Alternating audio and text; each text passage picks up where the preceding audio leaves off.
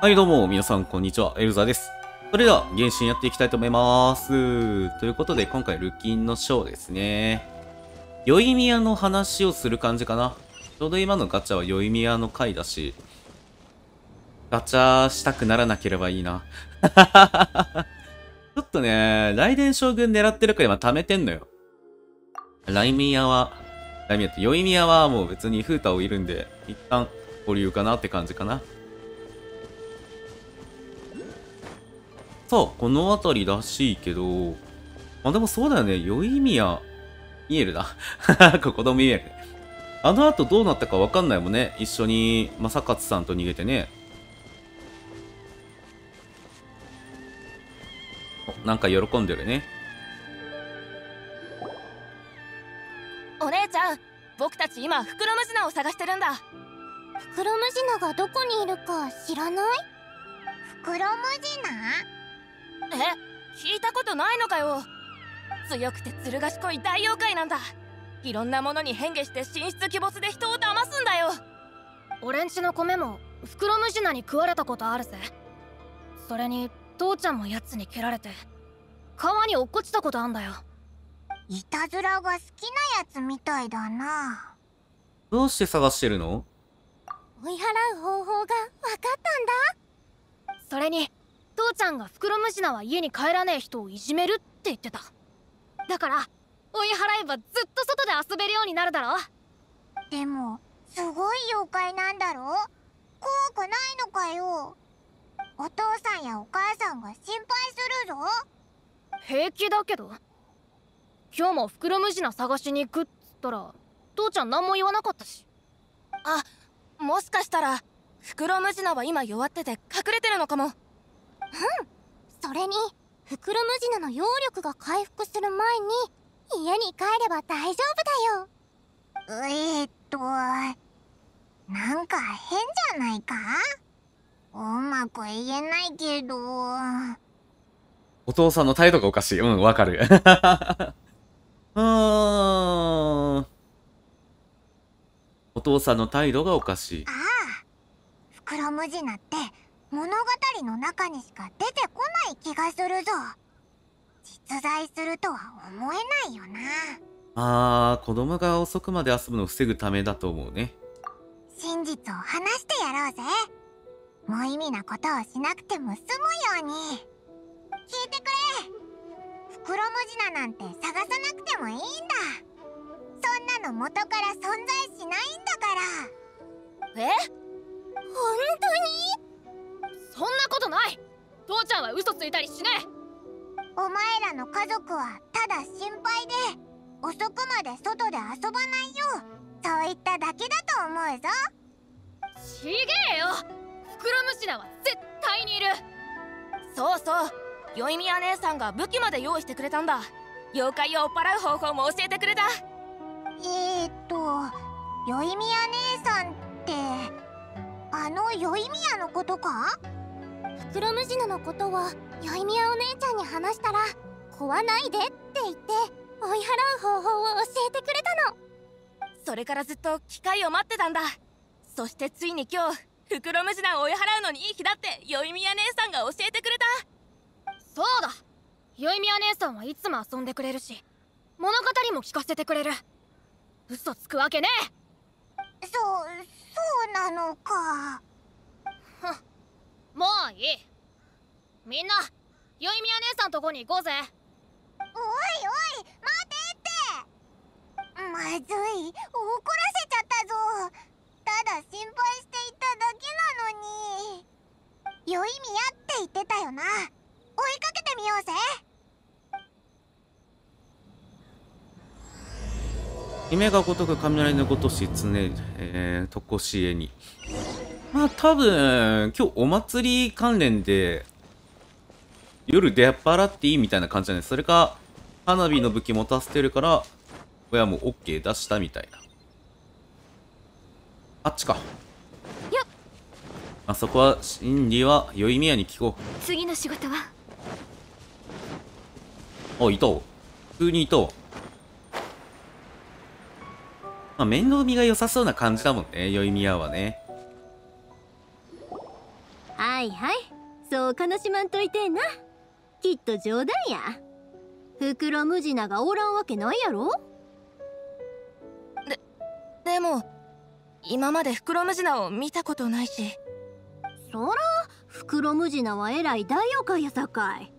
その偉い大妖怪をあんたらが退治せんと。なあ。うん。焦ったりへこんだりすることあらへん立派な英雄になるためにも知恵と根性を忘れたらあかん。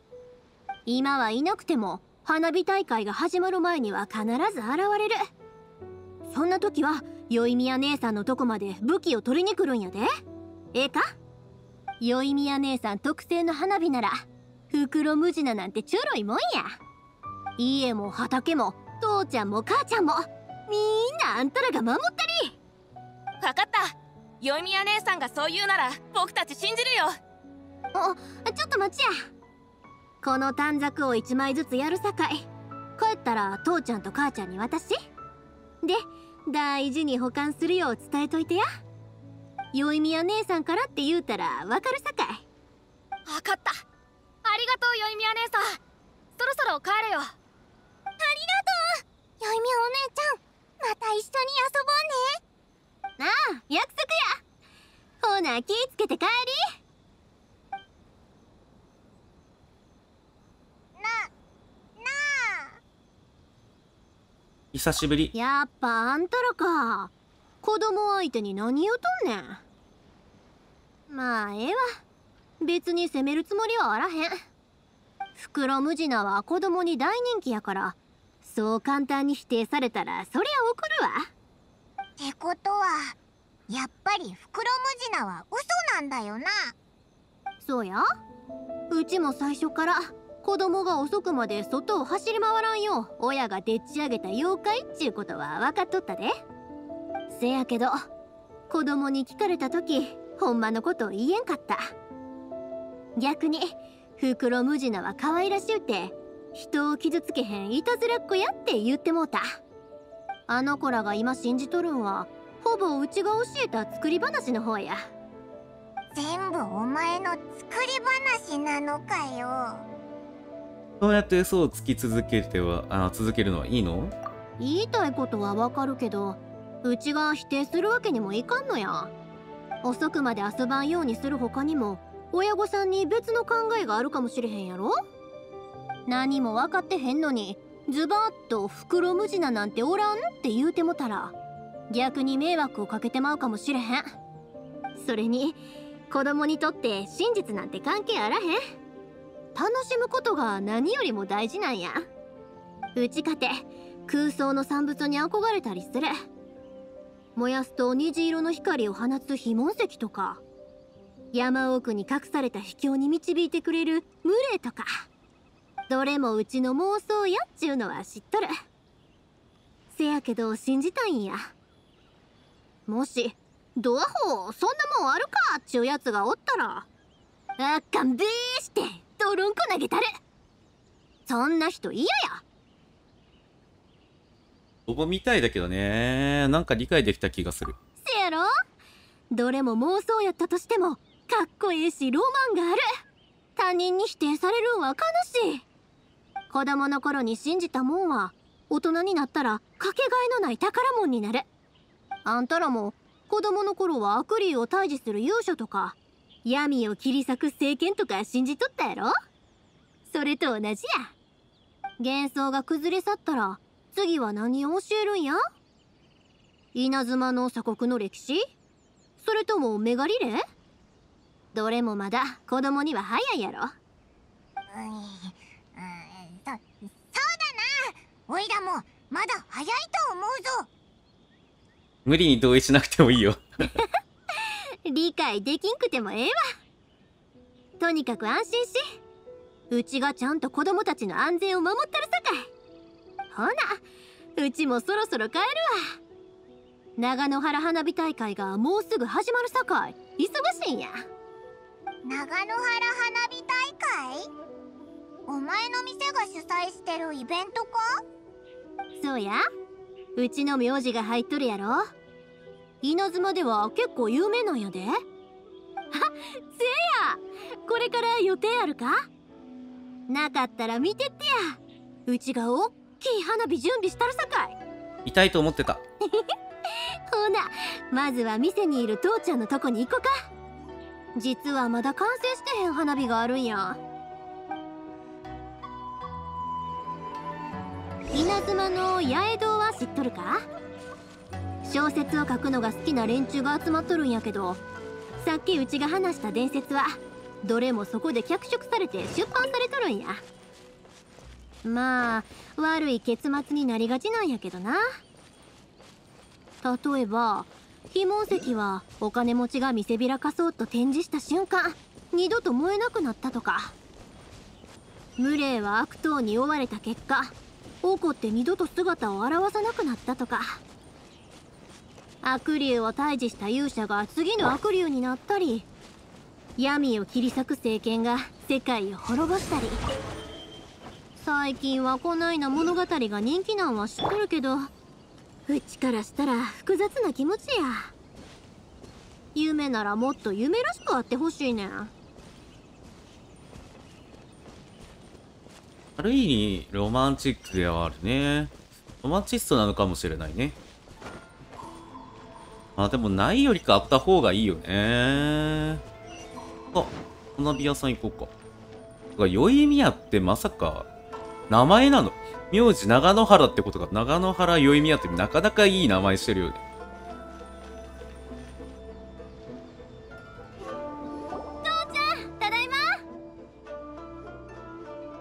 もうじき花火大会や。各家庭の花火はほぼ準備が終わったらあ？こちらのお二人はお友達か？それともお客さん？どっちもやろか。最近ここいらに来たばっかりなんや。ほんで稲妻に来たからには花火を見てもらわなあかんと思って。そうか。ほなちゃんともてなしてやらんとなこの長野原龍之介が長野原家の歴史を聞かせたる。それよりも父ちゃん聞きたいことがあるんやけど。昔昔。あかん勝手に始めてもうた。堪忍な。父ちゃん前に怪我してからずっと耳が遠いんや。でもさっきは会話が微妙に成立してたよな。ほんで長い時間かけて人々は理解した。ある鉱石を研磨することで出てきた粉末を燃やすと綺麗な色に光るってな。父ちゃん父ちゃんちょい待ち。あどないした？こないだ注文した花火の材料もう届いとるか？昨日の花火なら全部出荷したで。一昨日のも先一昨日のも。ちゃう。材料や材料こないだ注文したやつ。今日の分もぼちぼち仕上げや心配せんとき。腕までは年取ってへんから。ちゃう材料やって言うてんねん。花火の材料鉱石なんやて？材料の鉱石。あ？鉱石か？そうだそうだ鉱石。あごめん。興奮してつい。材料ならまだ届いてへんで。さっき担当のもんが理由を言いに来たんやけど。よう聞こえんかったわ。かまへん。それさえ分かれば十分や。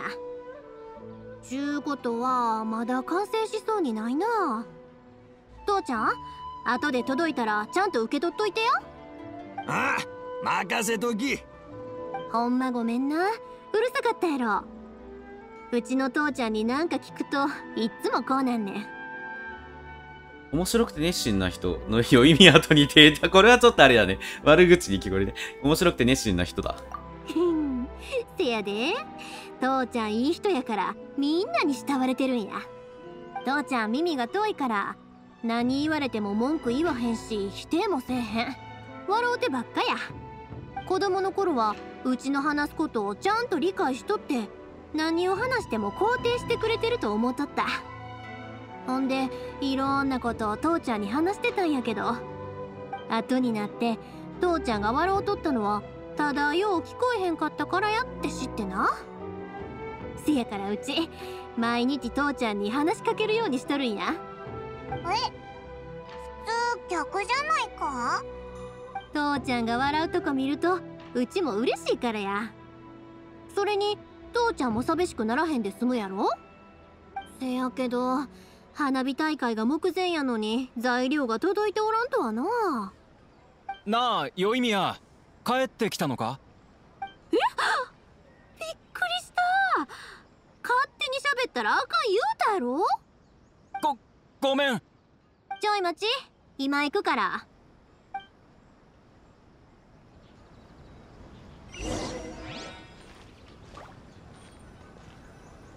おこれはあ遊び道具っぽいね。花火花火か？いや違うよね。遊び道具だよ。えーとどこどこ？あこっち。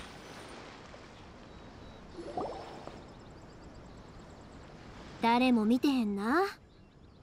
出てきてええよ。こっち来。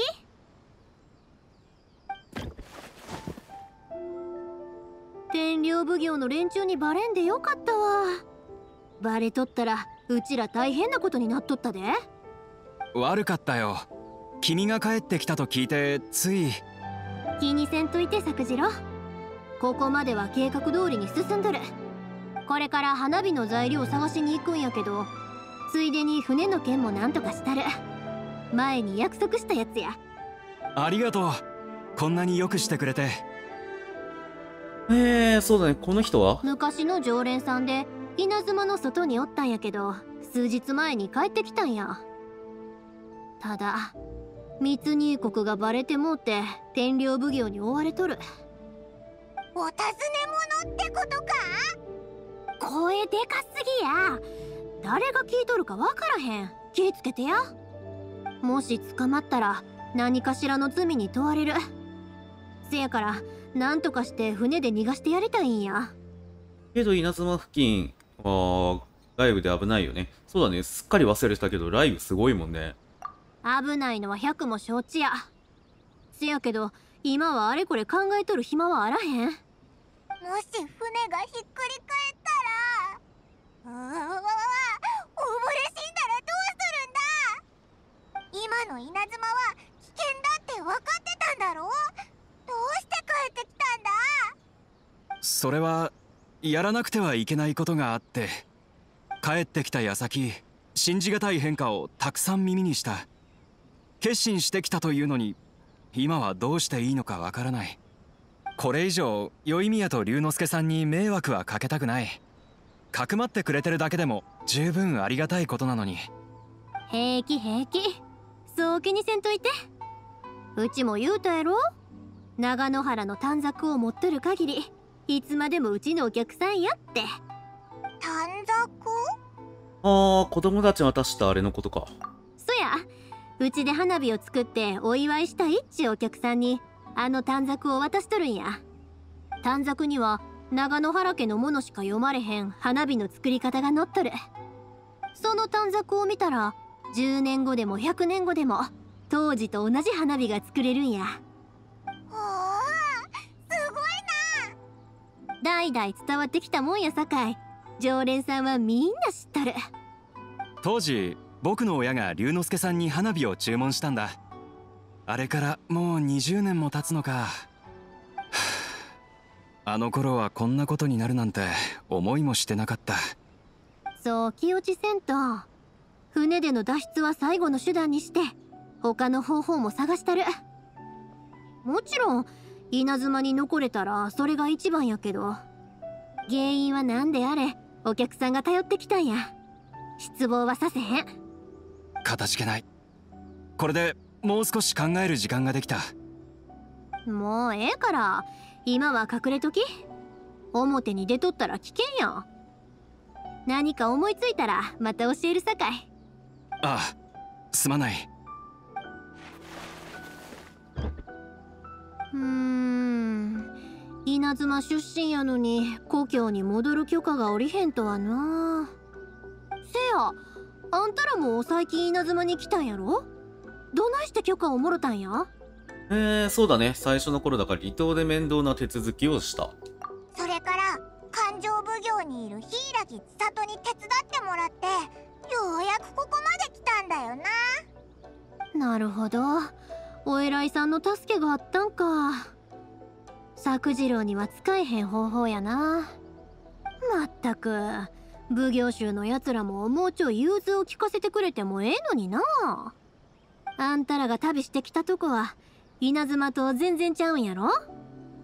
違うね。どの神も考えが違かった。まあとにかく作次郎を助ける方法を見つけんとな。すまんな花火を見せろっちゅうて誘ったのに他のことに付き合わせてもうて。面倒やと思うたら後でまた来てもかまへんから。うち一人で材料と船をなんとかするさかい。だね。私も花火大会の準備作業が見たい。よかった。ほな先に船の用意や。話は歩きながらにしよか。一つ聞いてもええか？あんたらどうやって知り合った？んこいつがオイラを釣り上げてそれから一緒に旅をしてるんだ。それがどうかしたのか？いや羨ましいな思って。父ちゃんのそばにもあんたみたいのがおったら耳の代わりになってやれるやろ？え？なんで泣きそうな顔しとるん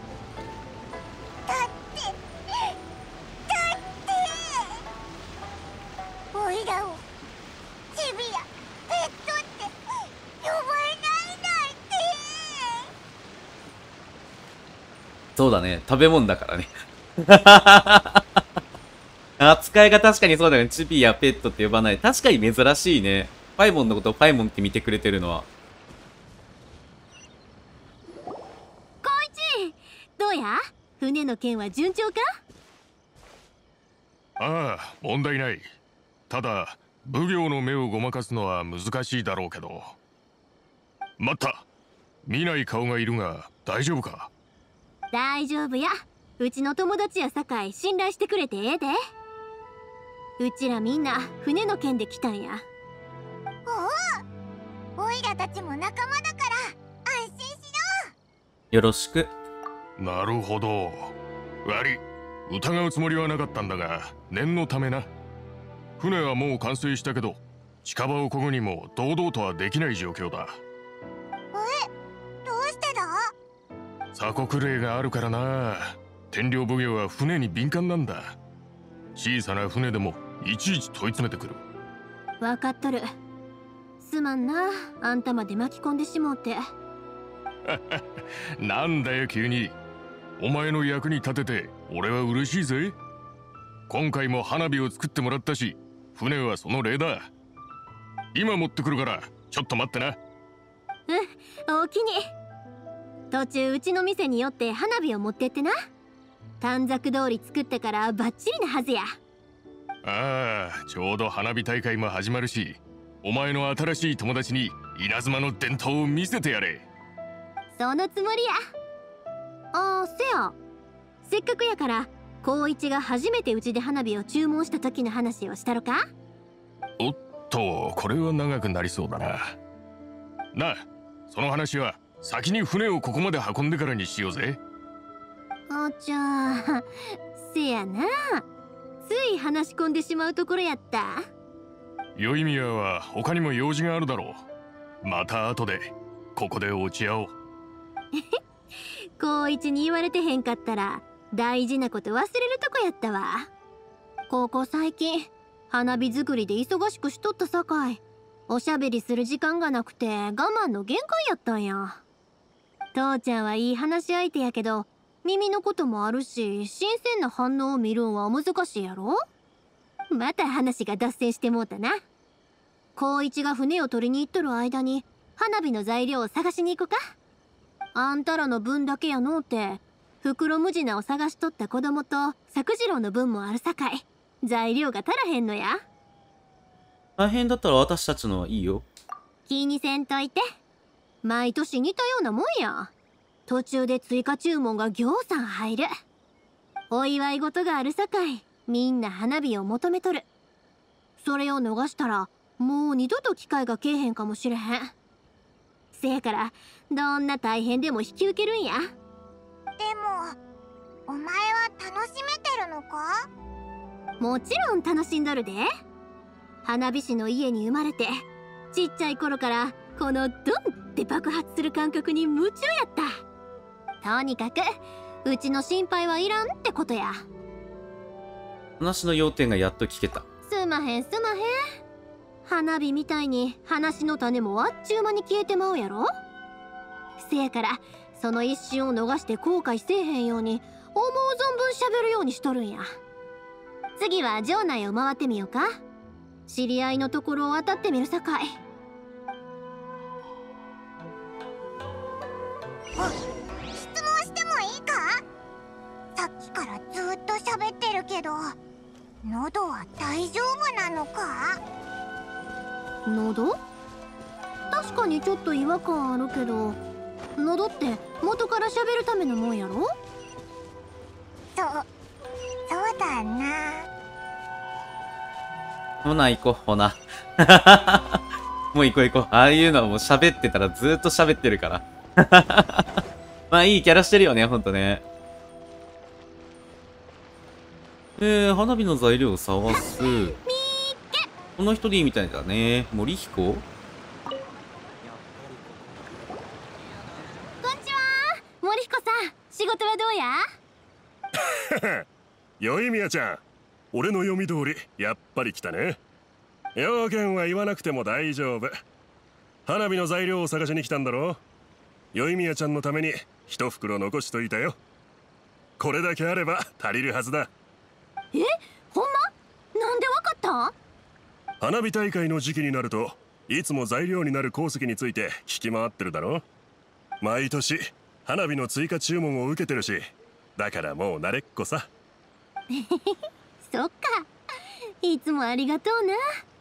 気にしないでくれ。たとえ商売はやめてもよいみやちゃんの頼みは断らないよ。それでこちらのお二人が今回の注文者？ありがとう、おかげで助かった。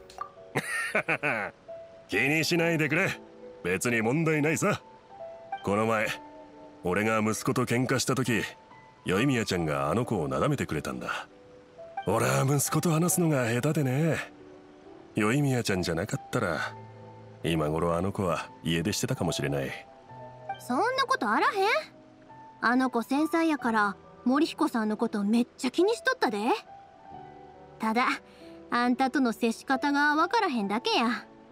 もうちょいにっこりしてみたらどうやろ。ほんなら息子さんも緊張せんで済むと思うで。そうか。普段から厳しく接しすぎてたのかもしれないな。外で他の人と話す時はもう少し柔らかくできるのに。そう思い詰めんといて。誰にだって得意不得意はあるさかい。また似たようなことで困ったらいつでもうちに相談してな。花火の注文やなくてもかまへん。お客さんは神様やから。ああそうさせてもらうよ。みんながよいみやちゃんを褒める理由がわかる。龍之介さんも鼻が高いだろうな。鉱石は持って行ってくれ。モラは払わなくて大丈夫だ。え？あかん絶対あかんよ。構わんさ。俺からの礼だと思って遠慮なく使ってくれ。せやけど借りができても商売には商売の掟があるやろ？うちを困らせんといてえな。そう言わずに受け取ってくれ。まだ仕事があるんだろ。うーん。ほならモラの代わりにとりあえず帳簿に書いとくわ今度花火を割引したる。お前って子は本当に。ならよいみやちゃんの好きにするといい。それとお父さんにもよろしく伝えといてくれ。これからも体に気をつけて花火を楽しませてくれって。ああ森彦さんも仕事ばっかりしてへんで体に気ぃつけてな。よいみや元気だなそうだね、人情大切。花火って稲妻にとって大切なのかな？まあ上かな？人情を大切にしてる？同じことを前にも言われたことあるで。うちが何でも手伝ってくれると思うとった人もおったわ。せやから「マチこんなん花火屋の仕事やないやろ!」って言い返したんやけどみんな全然聞いてくれへんのや。仕方あらへん。まあ気にするほどのことでもあらへんしな。とにかく鉱石も手に入ったしあとは職人さんに加工してもらおうか材料の問題はこれで解決やな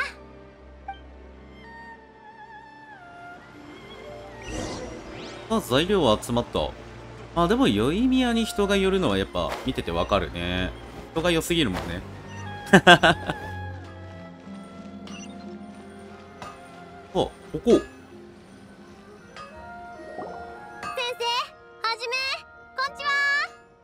あ宵宮どうせ花火の材料のことだろどうやら花火大会の時期に宵宮が忙しいのはみんな知ってることみたいだな。悪いけどちょっとだけ待っててくれる。今武器の注文が溜まってるんだ。かまへん平気や。あーちゃうか。全然平気ってわけでも。ほんなら手伝ったるここの武器が全部完成したら鉱石の加工をしてくれるってことやろ？そうだね。でも師匠に聞いてみないと。大丈夫やんな先生。長野原花火大会が時期に始まるし先生も分かってくれるやろ？まだ完成してへん花火がぎょうさん残っとるんや。もし間に合わへんかったら。相変わらず口うるさい小娘じゃ雨の魔流では全身全霊の力をもってして鉄を打ち続けるため忍耐を必要とする。焦って撃てば刀に悪影響を与えてしまう。よそ者が隣で催促しても初めの心を乱すのみ。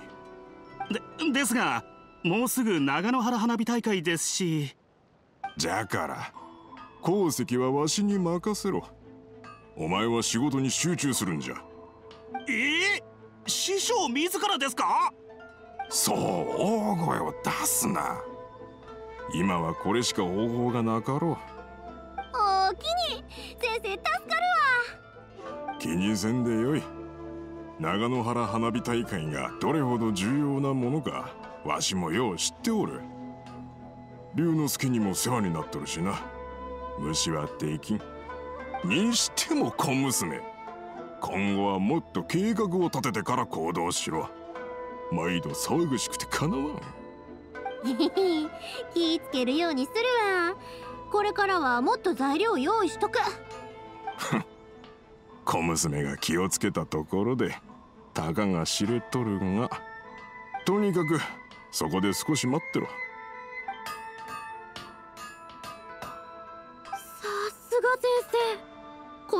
粒の形ときめの細かさうまいこと言葉が見つからんけどすっごい綺麗やわ。久しぶりに道具を手にしたっちゅうんにこの手際の良ささすがや。当然じゃ。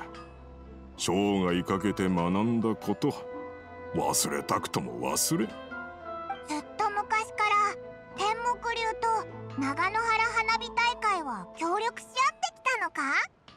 最初はわしの師匠と龍之介の父親じゃった。代が変わっても花火に必要なものは変わらん。はじめこれからはお前がこれを作ることになるぞ。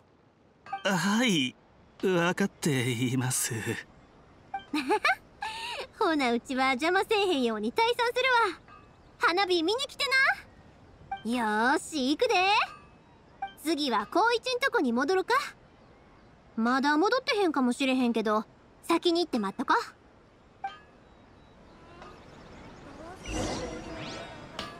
ほう。まあでも、あの、言い方と行動はやっぱ日本人っぽい感じだよね。あとさ、ちょっと気になってんのが、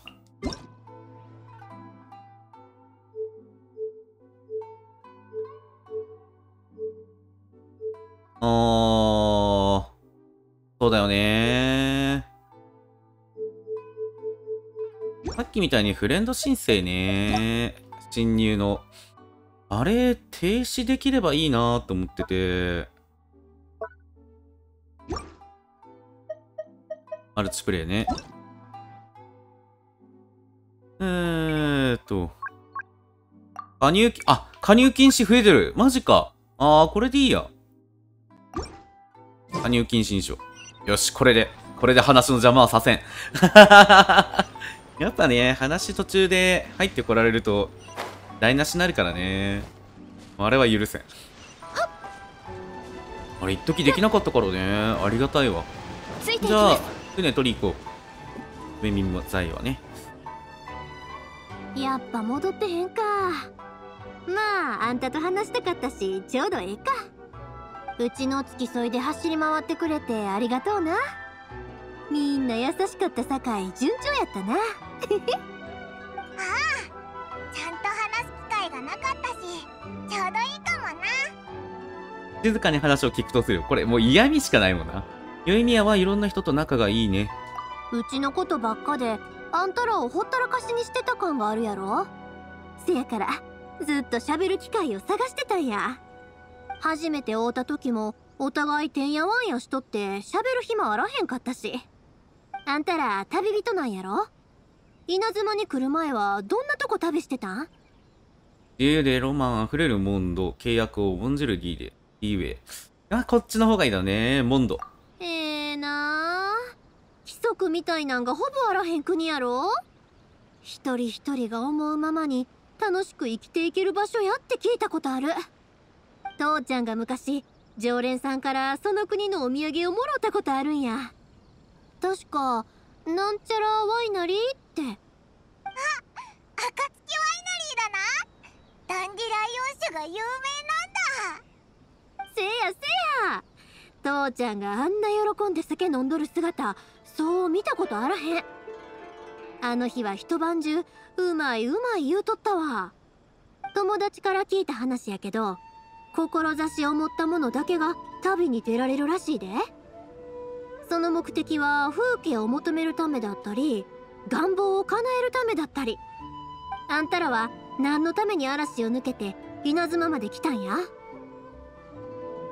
あれどっちもなんだよな。敵対する神を見つけるためとか、行方不明の兄ちゃん見つけ、どっちもなんだけど、まあこっちだろうね。行方不明の兄ちゃんを見つけるため。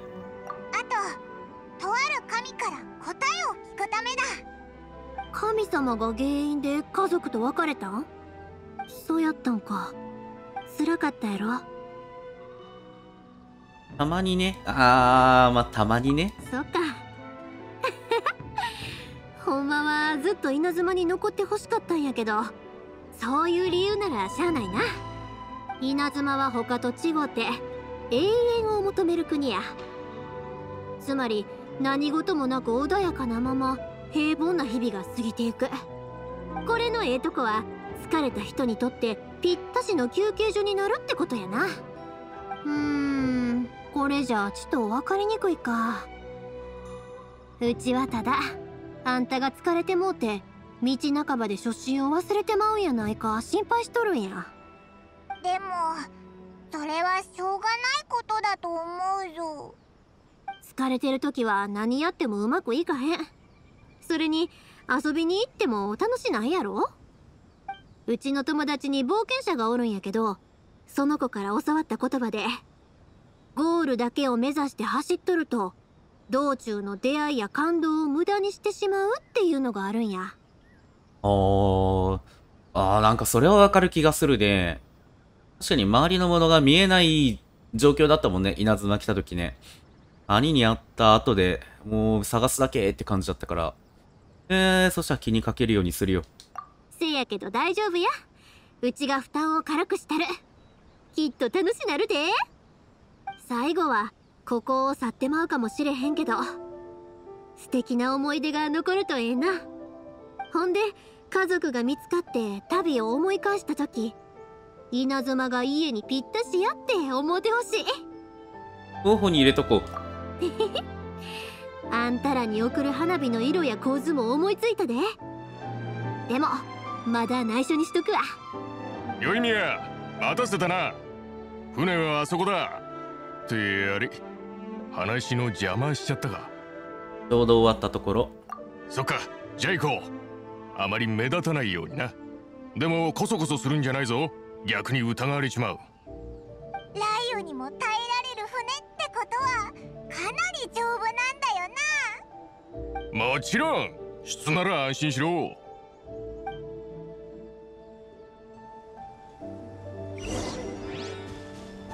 まあでもなんかさっきの宵宮から言われたのは、あー、なるほどっていうのはなったね。確かに稲妻が来た時、本当なんか跳ねのけるっていうか、本当それ強かったもんね。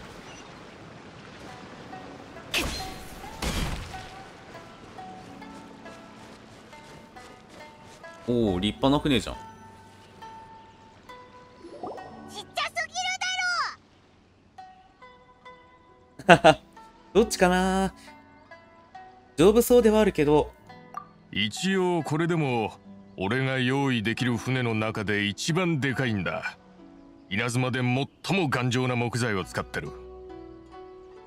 まあ正直こいつであの雷雨に挑むのは危険だろうなこれは最後の手段や。うちかて作次郎をこれに乗せるんは心苦しいしな。にしても光一また腕を上げたんやないか？勘弁してくれ。全部仲間たちのおかげさ。バレないようみんなで作業を分担して夜にこっそりと組み立てたんだ。大きさはこれが限界。これ以上大きくしたら天領奉行の目をごまかせなくなる。わかった。ほな船は一旦ここに隠してうちらは作次郎にこのことを伝えてくる。だんだん不安になってきたぞ。こんなことしたらお前も共犯扱いで天領奉行に追われるんじゃないか？ふん。せやからなんや。この件に低下した時から心の準備はとうにできとる。うちはシャブ業とよう協力しとる稲妻で何らかの行事をやるって時は他の2つの奉行も依頼してくるおとなしくしとけば総ちょっかいは出してこうへんよ。それに共犯言うたらあんたらも行さん手伝ってくれとるやん。そうだな。今さら抜けたって手遅れか。ああそうだね。追っかけ回されたね。稲妻でも悪人役か。おお経験者やったんやな。心配しとったけど杞憂やったようや。ほな光一今回はほんまにありがとうな。花火ももう完成しとるから手空いとる時に取りに来てや。ついでに父ちゃんから船の代金もろといて。モラならいいってそれにお前にモラを支払わせたなんて姉さんが知ったら俺が怒られるだろ姉さん？うちが説明したる。うちも父ちゃんから聞いた話なんやけど昔稲妻にとある紹介があってえらい盛んやったそうや。当時同じ時期に子供が十数人生まれてな。その子らは幼い頃から親に商売を叩き込まれてきたみんなえらい仲良しやったらしい。ほんである日みんな独立して新しい生活を始めたんや。でも商人やからあちこち行かんとあかんやろ？そのうち会える時間がどんどん少なくなってもた。そして一番上の兄さんが提案したんだ。別れる前に一緒に花火を見ようって。みんな高い志を持っとって商売に自分なりの見解を持っとった。だんだんとみんな稲妻を離れてって残ったのは光一だけになった。全員揃うんは無理やけど誰か一人でも帰った時は花火を見るんが恒例になっとる。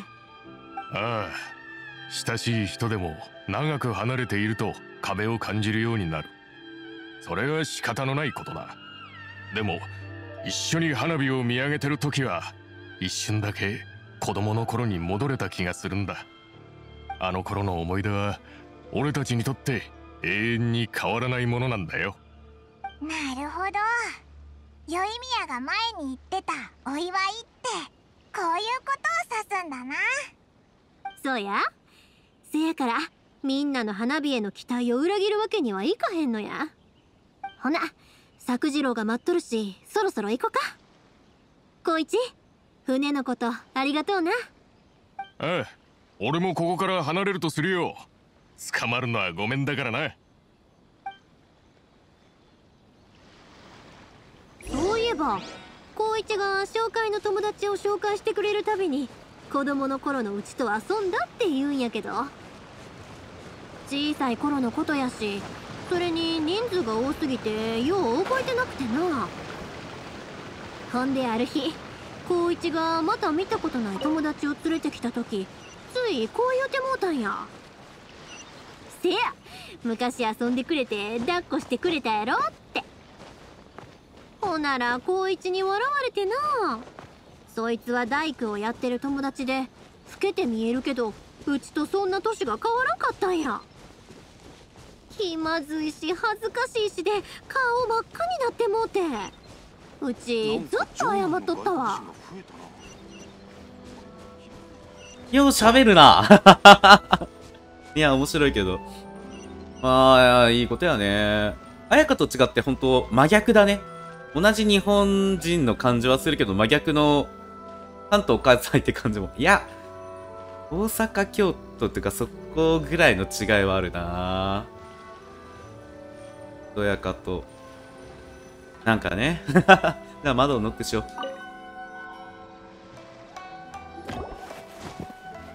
船は用意できたで。場所は地図に印つけといたから確認しといてや。それと食料と水を用意しとき。備えあれば憂いなしって言うやろ。うん。でもせっかく帰ってきたんだ。もう逃げたくない。それに小舟一つで雷雨に挑むのは無謀すぎる。せやけど天領奉行に捕まっても結末は同じや。遅かれ早かれここにも天領奉行は来る。悠長に捨てられへんで。すまない。本当に奴らがここまで来たら早々に逃げるよ。君に迷惑はかけない。謝らんといてや。万が一の状況になってもうちがどうにかしたるほんまに天領奉行に追い詰められた時は迷わず船へ逃げるんやで。うん。絶対に捕まらないようにするさ。でもこのままじゃ稲妻に帰ってきたのはとんだ無駄足だ。こうまでして稲妻に帰ってきたのにはなんか理由があったのか？昔の僕は稲妻が嫌いでこの国を離れたんだ。でもそれは責任から逃れるためだった。そのことに気づいてからずっと心がモヤモヤしててね。稲妻に置いてきたものを思うといやもう手遅れなんだ。心残りを埋めようとした結果がこのありさまってわけさ。そっか。オイラたちがもっと早く相談に乗ってればほんま鎖国なんてなければええのに。大丈夫やせかしたりせえへんから。あんたが決心するまでもうちょい時間を稼いだる。天領奉行。天領奉行が邪魔せえへんかったらどうにかなるのに。あ嘘や。常連さんの中に老夫婦がおったな。確かそこの息子さんが天領奉行のお偉いさんやった気が。とりあえず会いに行ってみるか。どうにかなるかもしれへんでも通報される可能性もないか？心配あらへん。めっちゃいい人やから大丈夫や。あんたは部屋に隠れときうちらがパパッと行ってくるさかい。さあ急ぐで。時間があらへん。あかん。まだ花火と花火の材料と注文が今日さん残っとるんやった。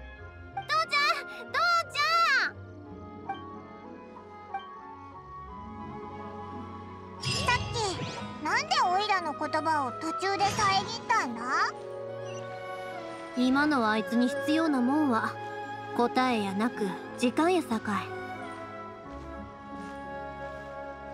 おやっぱあれだね、頭切れるっていうか、頭切れるな。ヨイミは意外と賢い。あんな感じやけどね。んじゃあ、えー、希望の光に飛びますか。あ、この家？かな？あ、いたいたいた。あれ？この二人って、この家の、じゃないっけ？よいみやちゃん。いらっしゃい。どうぞ上がっていって。お隣の方はお友達？そや。遠いとこから来た旅人や。他の国から今の稲妻に来るなんて大したやつやろ。そうだったの。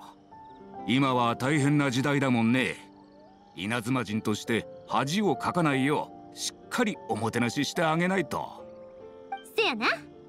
それと二人の花火持ってきたで。おおありがとう。毎年世話になるね。昔はお父さんに今は宵宮ちゃんに。生きてるうちに長野原花火屋の次期当主を見れるといいな。大丈夫やってまだまだ元気やんか。縁起の悪いこと言わんといて。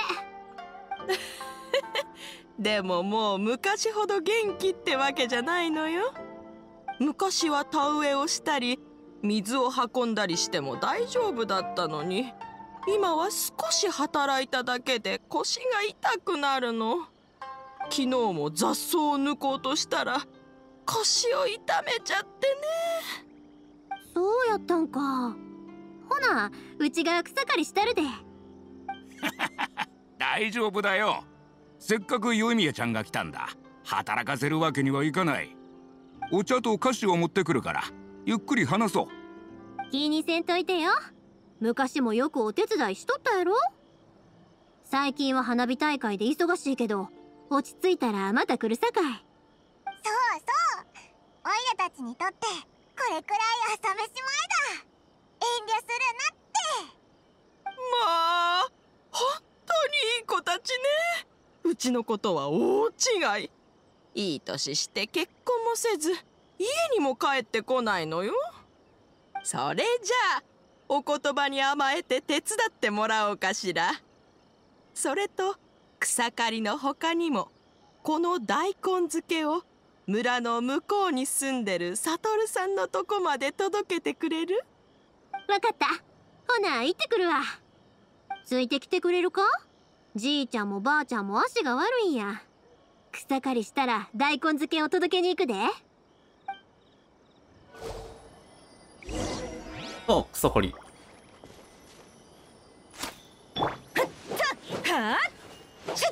草刈りとあかりとはって思ってしまうけどな。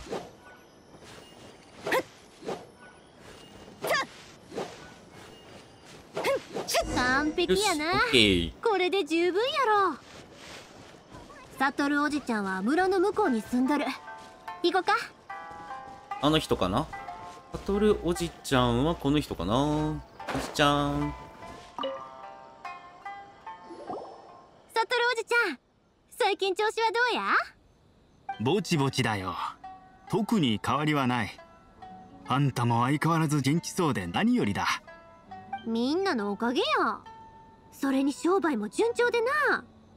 こないだリーユエにおろした花火が大好評やったみたいで注文が増える一方や。大変そうだな。龍之介さんと二人でやっていけるのか。無理そうだったら俺に言ってくれよ。手伝いに行くから。平気や花火のことなら無理なことあらへん？そうそう。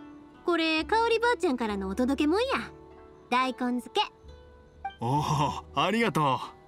昔は大根漬けが苦手だったんだが香りおばさんのを食べてからその味を忘れられなくなっちゃってね。今ではすっかり家族全員この味の虜さ。家族はみんな元気か？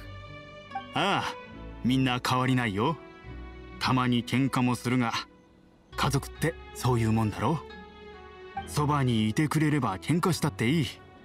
離れ離れになるよりマシさ。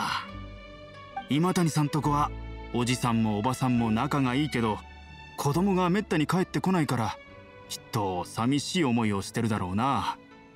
見た感じ平気そうやったで。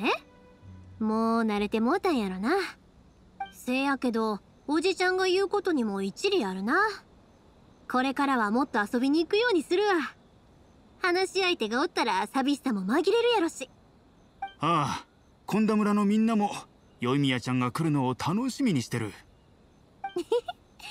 なんや照れるな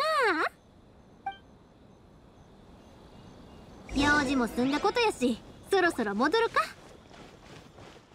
すごいね。上里も慕われ方がすごかったけど、よいみやちゃんもずば抜けて。なんか、こっちはこっちでまた全然違うもんな。すごいね、差がね。若い子はすごいね。こんなに早く終わらせちゃうなんて。若者は体力があってお年寄りは知識と経験が豊富。せやからどっちもどっちや。そういえば今年で夫婦生活も50年目だな。ええ一年一年ただ前を向いて過ごしていたらいつしか50年も経ってたわ。50年？そんな大事な日なのか？50年前母さんが俺を追いかけてた頃が懐かしい。もう何でたらめ言ってんのよ。あなたが私のことを追いかけてたんじゃない。そうだったかまあとにかく50年前の長野原花火大会で俺は母さんに結婚を申し込んだんだ。そして今こうして一緒に過ごしてる。羨ましいね。本当は結婚を申し込む勇気がなくて不安な気持ちのまま長野原に花火を頼んだんだ。花火が打ち上げられた瞬間もどんな言葉でこの気持ちを伝えたらいいのかわからなかった。でも空に花火が咲いて彼女の横顔を眺めていたらその目に映る光がキラキラと綺麗で気づいたら自然と言葉が出ていた。そして幸いなことに俺の申し込みを受け入れてくれた。この50年長いようで短かったわ。あっという間だったわね。共に歩んできたこの50年。ちゃんとお祝いしないと。50年の節目やって知ってたらもっと豪華な花火を用意しとったのに。大丈夫よ。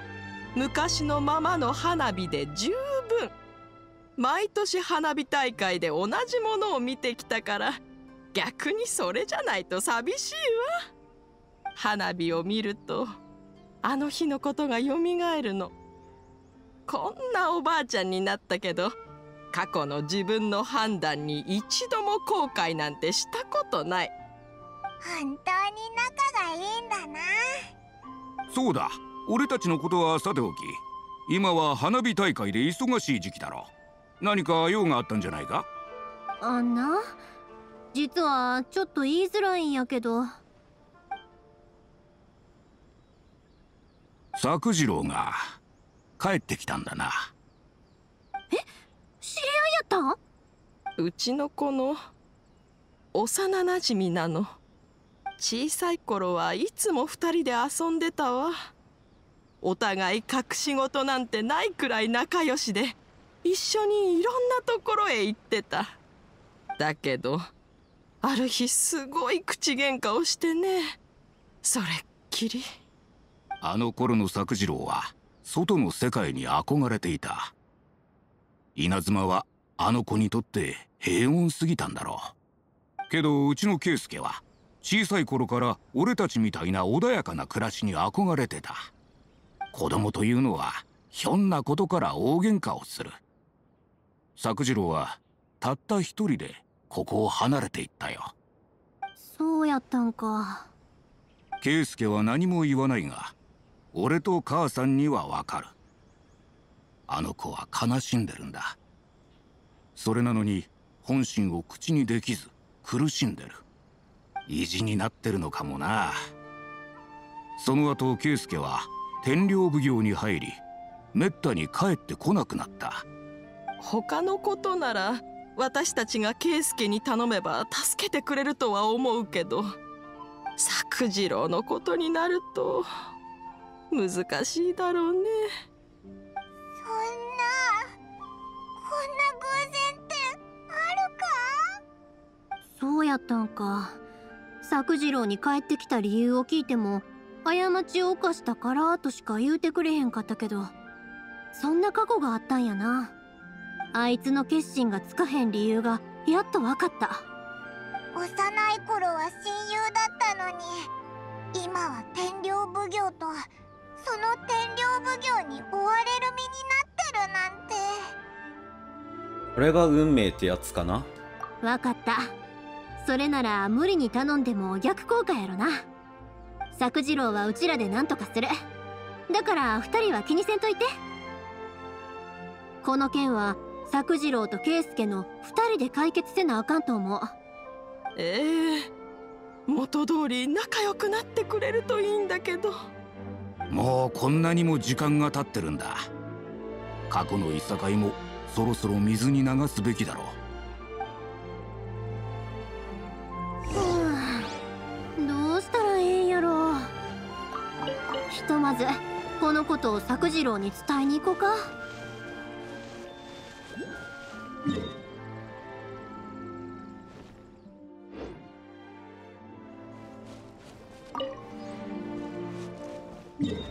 まあ起点は聞いたけどっていうところだったね。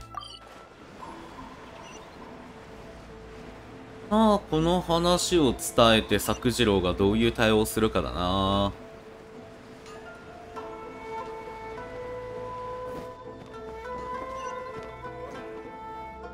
よいみや。大変や。ついさき天領奉行の人が大勢来よった。え？なんでや？まさかバレてもうたん？父ちゃん平気やったか？何もされてない？花火大会の準備で部屋中が火薬だらけやさかい。素人がいじくり回したら火事が起こるかもしれへんって言うたんやが。全然聞く耳持たんかった。作次郎がきっと中におる言うて。せやけど作次郎は事前に感づいて窓から逃げとる。天領奉行に捕まらんで済んだわ。あっちゃ参ったわ。作次郎まだ決心できてへんはずやのに。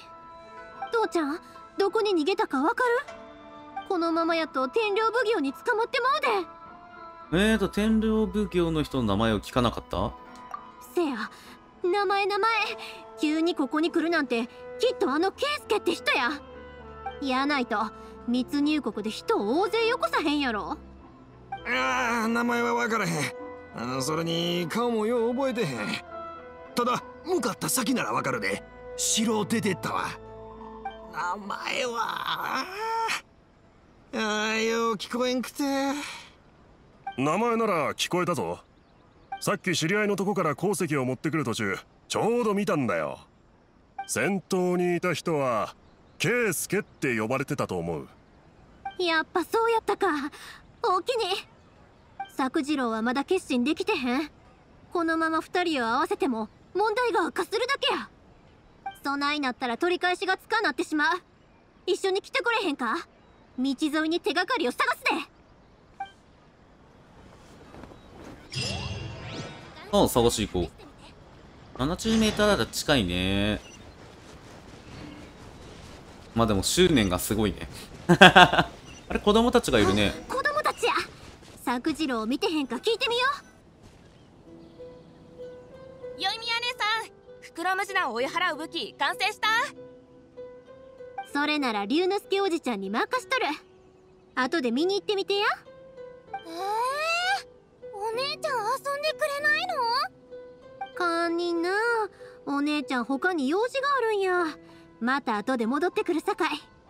せや戻ってきたらアメちゃんあげたる好きやろ？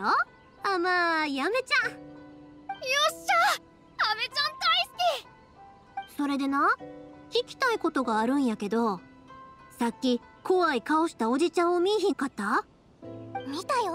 誰かを追っかけた。あのおっさんたちまさか妖怪を見つけたのか。いやいや心配あらへんよ。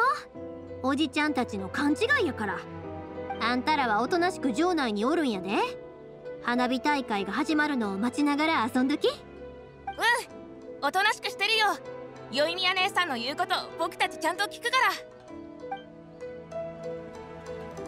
ら。こっちで間違いなさそうや。追っかけよ。作次郎がまだ決心してへんかったらうちらが助けるしかあらへん。あそこ見てみ。天領奉行の連中や。おいた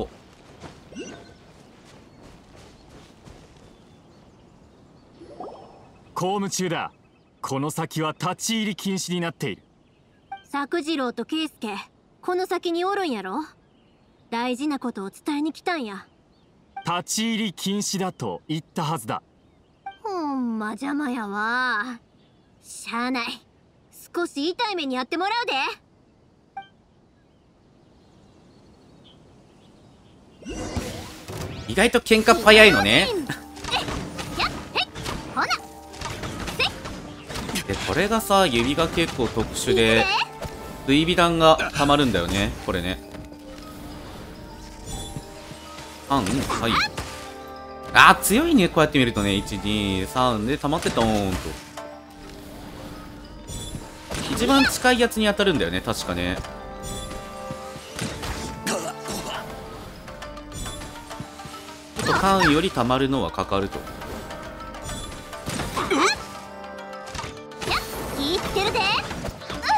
あー十分強いね。あさらに来た。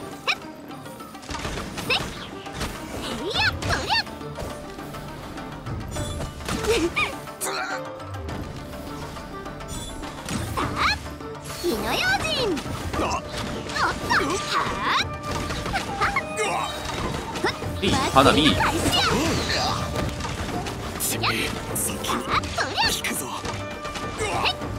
あやそりゃおっとあ使うと買いたくなる。花火見いひん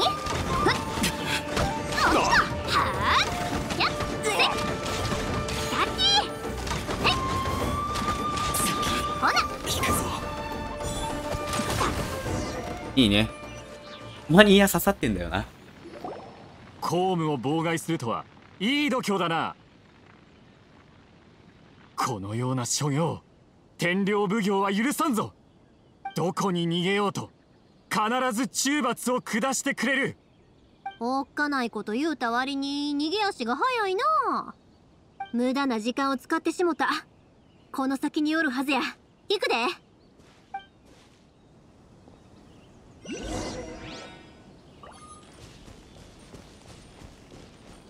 ああこの先いたね。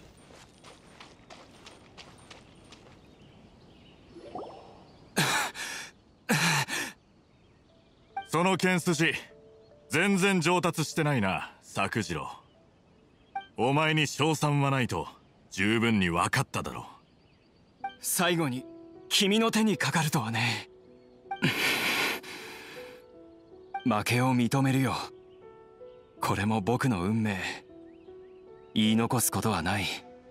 お前がこの国に帰ってきたのは俺の考えを認めたからなんだろ好きに思うがいいさ。さあ天領奉行まで来てもらうぞ。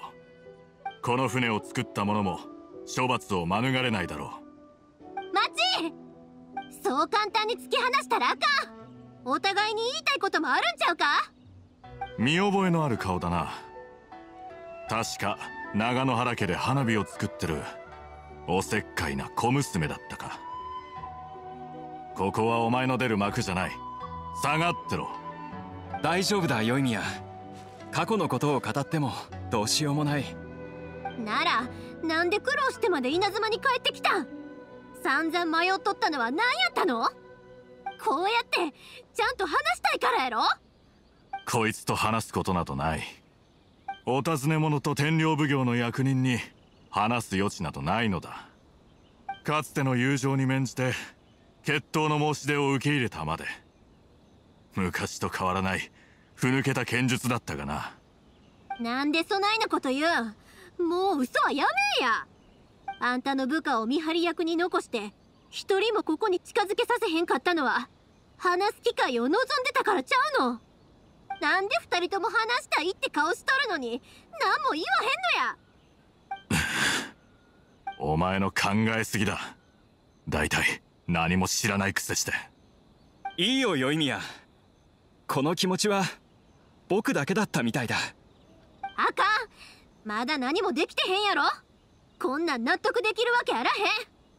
今谷さん決闘に慣れとるんやろ。ほなうちとも決闘してやうちが勝ったら本音を吐いてもらうで。もう本心を隠すんはやめるんや。作次郎あんたもや。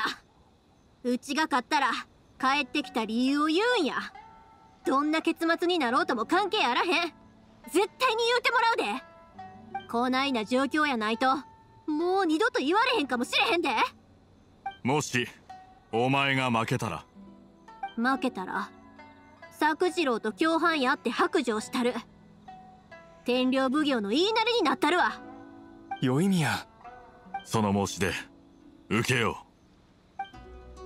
長官支援に参りました。支援？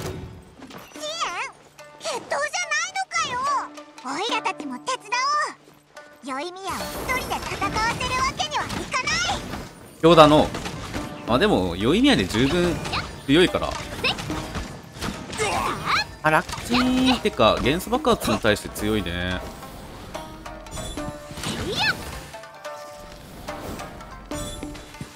うい。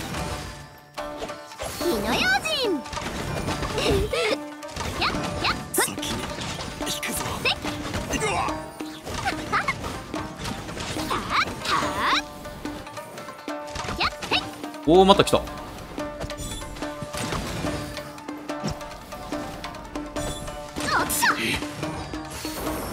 あこれでたまるかな元素。いや引くぞ。堪忍してや行くで。えいえいおっ。とこれでどう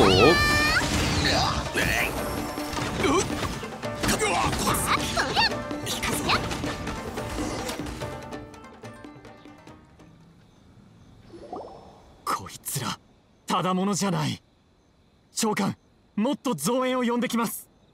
下がれ。はい？ここには近寄るなと言ったはずだ。全員下がれ。は申し訳ありません。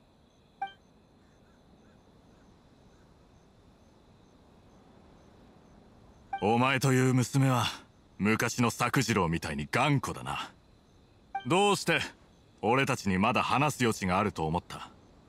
それは作次郎が帰ってきた時あんたのことは言わへんかったけど花火の注文をしたからや。あんたの父ちゃんと母ちゃんから作次郎とのことを聞いたで。そん時に分かったんや。この花火にはきっと特別な意味があるって。やったら話すことなどないちゃうやろ。孤独を感じるために花火を咲かすわけあらへん。実はずっと迷いを抱えながら帰ってきた。昔の考え方が変わったわけじゃない。ただ今の自分は現実から逃げてばかりだと思ったんだ。僕はモンドの自由をリーユへの契約をスメールの知恵をフォンテーヌの正義を見てきた。どれも僕にとって感慨深いものだったよ。稲妻を離れたことを幸せに思った。けどその幸せに浸かる中稲妻の鎖国令を知ったんだ。僕は逃亡者だ。でもその逃亡を英断だと思っている。そして僕が真になすべきことは外の素晴らしさを稲妻に持ち帰ることだと気づいた。未だにここを変えたいと思っているのか？いやもうそんな大層なことは思っていない。今はただあの時逃げた自分を恥じているんだ君は逃げていないのに。僕の心にはしこりがある。君がどうなのかが気になった。そして運命に導かれるかのように帰りたいという気持ちが抑えられなくなった。俺は幸せではないな。ライデン将軍に憧れあのお方の言葉を胸に刻み命令に従ってきた。だが今やっていることは鎖国令に反する者を裁いたり神の目を回収したりすること。こんなことのために天領奉行衆に入ったわけではないというのに。俺は正しいことをやっているのだろうか。船は見逃そう。え？お前をこのまま稲妻に残すことはできない。だからといって捕らえるのはもっとごめんだ。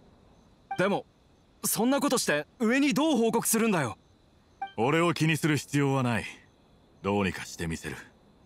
今の時代国外にいる稲妻人が帰ってくるには複雑な手続きが必要だと聞いた。だが方法がないわけではない。お前に手を貸そう。それまでは外で待っていろ。道中死ぬなよ。安心してくれ圭介。また君と花火が見たいからね。ああまた会おう。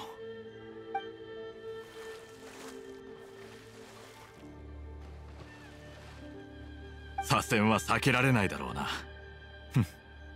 俺もいい年して何をしているんだか。あの船って？作次郎が逃走に使おうとした船だ。金製品臨時保管ということにして部下たちにここへ運ばせておいた作次郎をここまで追い詰めたのも俺の計画通りさ。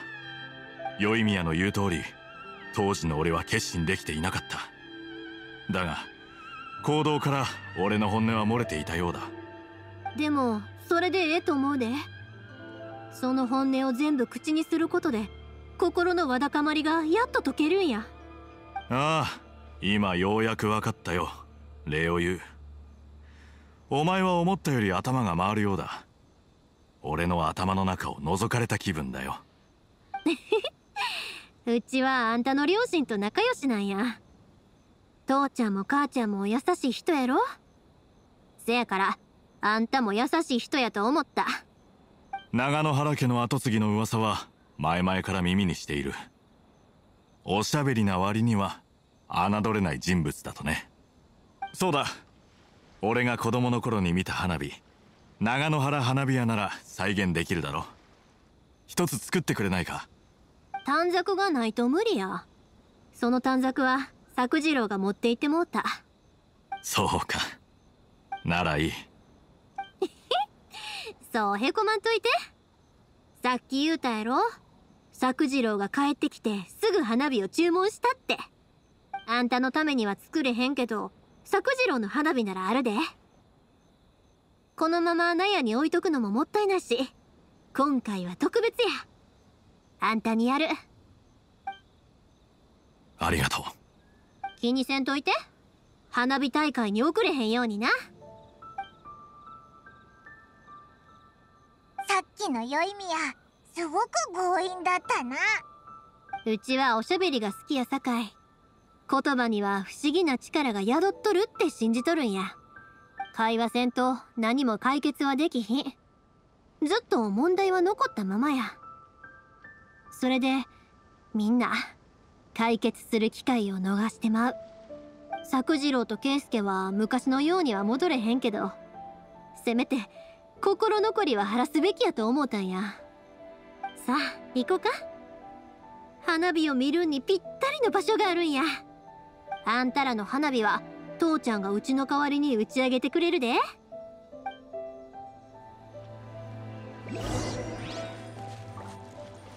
まあ一応解決した感じかな。あとリーウェイの花火は稲妻の花火師だったんだね。てか宵宮たちだったんだね。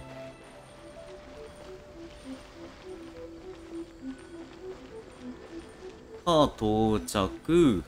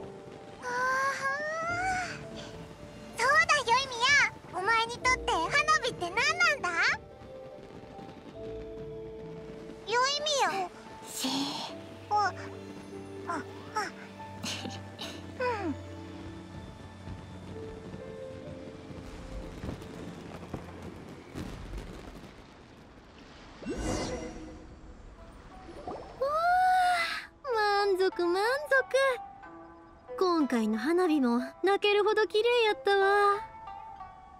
あれ？ほんまに泣いとるかも？目元が濡れとる。綺麗だったね。せや。最初に打ち上げられたやつ。あの金色の大きい花火は見たか？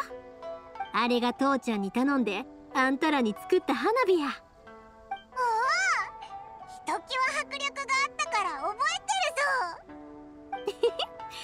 れならよかった。あんたらの記憶に残るよう頼んだからな。どこへ行っても何があっても不安を感じたり疲れたりしても今日の花火を思い出せることを願っとる。きっと時が深まるほどこの花火はあんたらの心で綺麗になっていくことやろ。せやあんたらもすっかりうちのお客さんやな。ほなこの短冊を受け取り。また金色の花火が見たくなったらいつでも来てや。そうだね。お祝いしてくれてありがとう。でも花火を見てる時の宵宮はまるで別人みたいだったな。ずーっと黙ってて何も聞こえてないみたいだったぞ。えー、っと実は聞こえてたんや。ただ花火を見てる時は何も喋らへんのがうちの癖でな自分の作ったもんが空に上がるのを静かに見送る。一種の儀式みたいなもんや。さっきうちにとって花火は何かって聞いたやろ？ああ船を用意してくれた光一にとって花火は友情を記念するもの。圭介の両親にとって花火は結婚を記念するもの。そして圭介と作次郎にとって火は。うーん揺るぎない信念。あそうだそうだ。新年うちにとってはせやな。正直言うて考えたことあらへん。ようわからんわ。えてっきりすごい答えが返ってくるかと思ったのに。今まで聞かれたことあらへんかったし大して気にすることでもないと思うてな。たまたま長野原家に生まれてたまたま父ちゃんから技術を学んだ。ほんでたまたまみんなと知り合うて物語を聞いて大切な思いを花火に込めとることを知った。ほんの一瞬で消える花火は将軍様が求める永遠からいっちゃんかけ離れとるもんや。せやけどみんなの思いは消えへん。それが花火の存在する理由や。誰にも求められへんかったら花火は消えてまう。これもある種の永遠なのかも。みんなが花火に思いを寄せとる限り長野原はあり続けなあかん。やないとみんなをがっかりさせてまうやろ。うち複雑なことを考えんのはあんま得意やないけど。長野原家に生まれてぎょうさん綺麗な花火を作れてほんまに誇らしいんや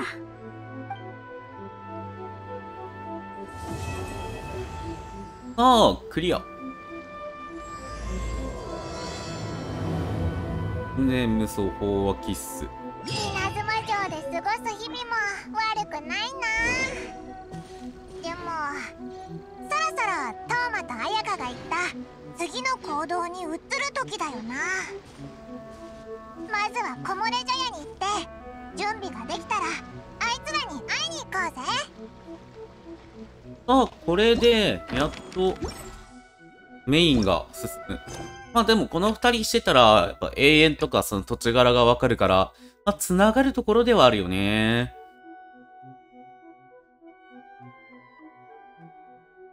ああ、もういきなり嫌な予感なんだね。